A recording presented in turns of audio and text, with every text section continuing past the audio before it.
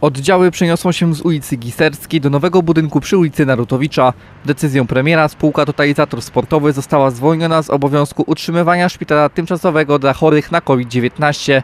To oznacza, że budynek przeznaczony docelowo dla Centrum Rehabilitacji wraca do Radomskiego Szpitala Specjalistycznego. Totalizator sportowy w ciągu miesiąca musi jeszcze przywrócić cały obiekt do pierwotnego stanu, co wiąże się z koniecznością wykonania drobnych prac remontowych. Mamy nadzieję, że 17 czerwca, może dzień, dwa dni później, rozpocznie się regularna przeprowadzka i to, co dzisiaj się znajduje na ulicy Giserskiej, te przychodnie specjalistyczne, które znajdują się e, w starej części szpitala, zostaną tutaj przeniesione i tak jak obiecywaliśmy latem, e, rehabilitacja w sposób europejski, nowy e, będzie się tutaj odbywała. Wiceprezydent zawodnik ma nadzieję, że zgodnie z wcześniejszymi zapowiedziami sprzęt, który był na wyposażeniu szpitala tymczasowego pozostanie w Radomiu.